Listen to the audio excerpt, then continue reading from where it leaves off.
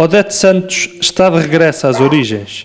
Na aldeia de Pega, na Guarda, desde o passado dia 21, a ex-deputada do PCP, agora reformada, nem por isso deixa de estar atenta à realidade do interior.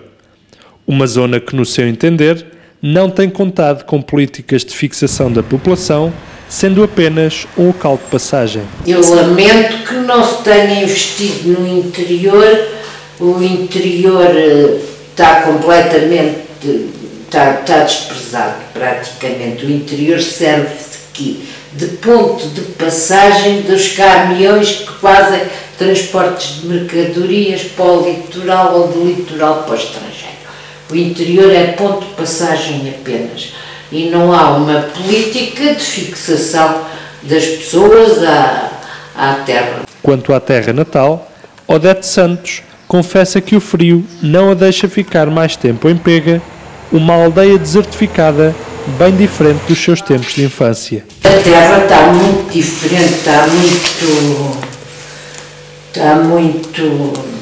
está muito sem ninguém, sim. Só, só tem muitos velhos e velhas. Vai, eu também já sou velha, por isso é que eu digo que este, este regresso provisório é o sinal de velhice. Está muito despovoada, tem muito pouca gente. Pega tem pouca gente, eu acho que suponho que não tem nenhuma sala de aula a funcionar neste momento.